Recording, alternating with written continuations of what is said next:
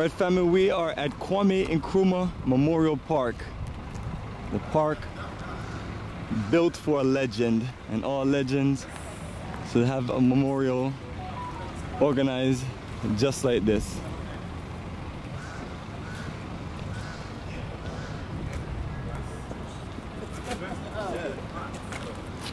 And this one of those beautiful solidarity days. You got the classic shirts on, and every single last one of them have been different. All the different designs.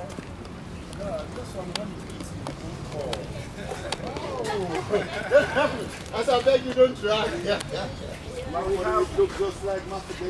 And that's how we're rolling family. We're rolling on the VIP bus, which has all business class seats. You know, that's how we roll in style. That's what you can afford when you put your money together as a group. I'm talking about put money together and embodying corporate economics and nation building. Let's let's let's come together, please. Yes, greetings, my brother. Greetings. um, yeah, unless you want to suffocate while talking. but I want him to suffocate. but trust me, okay. Uh, we won't give you no gentlemen, Rona. We won't give you no Africa Rona. for the Africans, and um, we thank God so much for bringing us here. Here we find ourselves at the Kwame Nkrumah Memorial Park, and my brother over here is going to introduce himself. He's the curator over here, and I'm so happy having him, so that's going to tell us everything about this place. So, sir, we are in your hands. Okay, so we normally say Akwaba, Yeah. which is welcome. My English name is Edward, but I prefer to be called Kofi, K O F I, because I was born on a Friday as a male. This is a memorial for the first president of Ghana. That's Kwame Nkrumah, Kwame Nkrumah, and also Kwame because he was born on a Saturday as a male. The reason why we have the monument on this particular grounds is that during our colonial time, this was where the British used to play polo sports. So it was called the Old Polo Grounds and meant for only British. Natives or locals were not allowed to come here. So eventually, Dr. Nkrumah also chose the same place symbolically to deliver his independence speech. He actually meant to spite the British. So that's the importance of this monument to the history of Ghana. And as part of our tour, we're going to visit the museum where we have his pictures and some of his personal items. Um, there's also a mausoleum where he was eventually laid to rest. And there's also his statue and other ones on that side. So we're going to start a tour around his statue and then end up in the VIP lounge where we get to sign the visitor's book. So let's enjoy the experience. Please, you are allowed to ask all your questions and also allowed to take photographs except inside the museum. But anywhere else, we are free to take our shots. So once again, Akwaaba. Yeah. Yeah, okay. Let's come this way, please. Yeah, man. Hey, that's a similarity.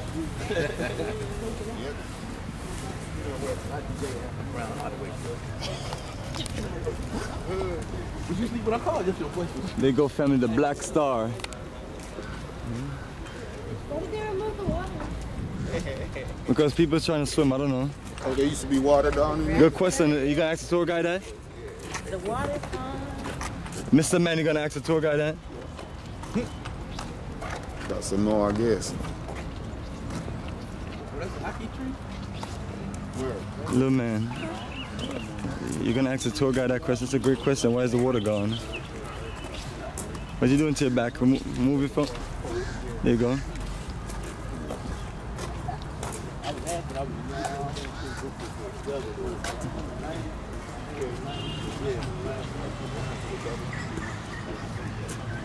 I don't think I've ever seen it without water. Yes, family. Kwame Nkrumah Memorial Park. This is literally, family, my 18th time coming to this park in 14 years, and you know, this is my 18th time here, The first time no one seen the water. and the first time no water. Because very by middle of February, we're gonna have some renovation works. Like the whole this place is going to be shut down. That is why we were told to drain the place because for the renovation work to come in. Yeah, my little boy had a question, but he didn't want to Okay. ask. That was his question. Now, went to the water. He's always seen the water anytime he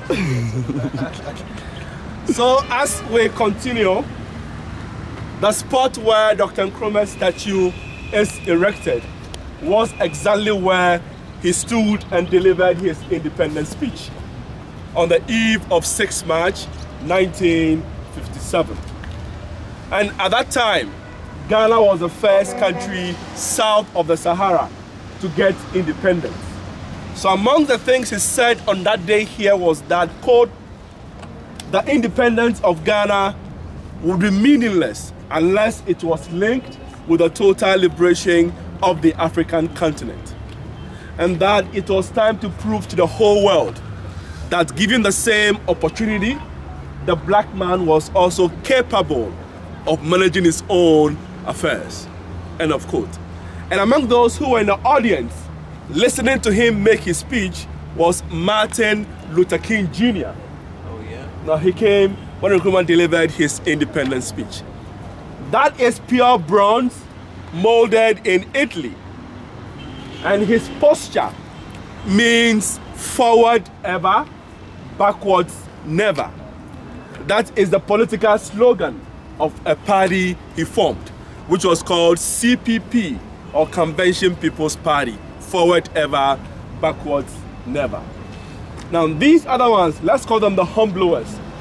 They are also expressing an aspect of Ghanaian traditional culture.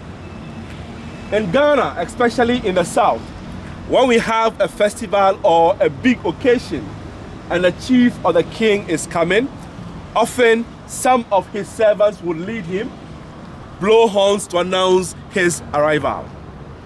And similarly, when a prominent person dies here, traditionally, we also blow horns to announce the person's death. So symbolically, they are doing the same thing for him. But the only difference is that they blow the horns in real life while standing.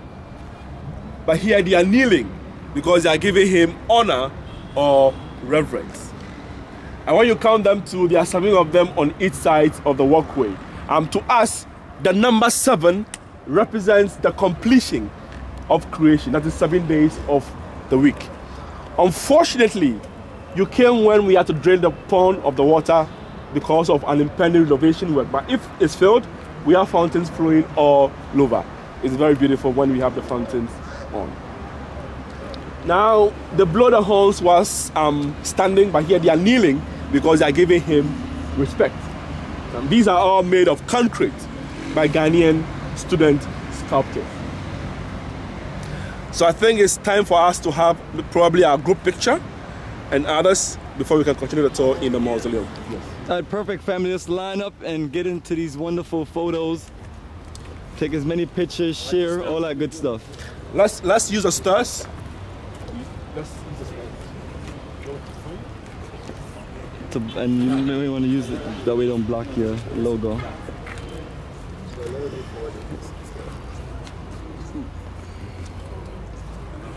Everybody tighten up. Brother Yao, get, you're taking the photos. Tallest in front, shortest at the back. Tallest in front. shortest at the back. Let's get closer. Let's get closer, please. Closer, closer, closer. There you go, family. This So let's, go. Yes, yes.